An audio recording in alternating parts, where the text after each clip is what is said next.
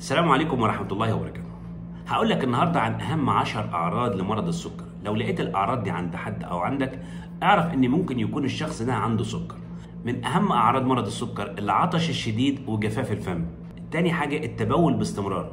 تالت حاجة تعب وإرهاق من أقل مجهود. رابع حاجة حرارة في القدمين يقول لك أنا رجلي سخنة.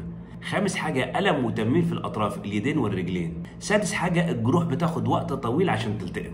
سابع حاجة وزنه بيقل بسرعة. تامن حاجة حكة والتهابات في الجلد.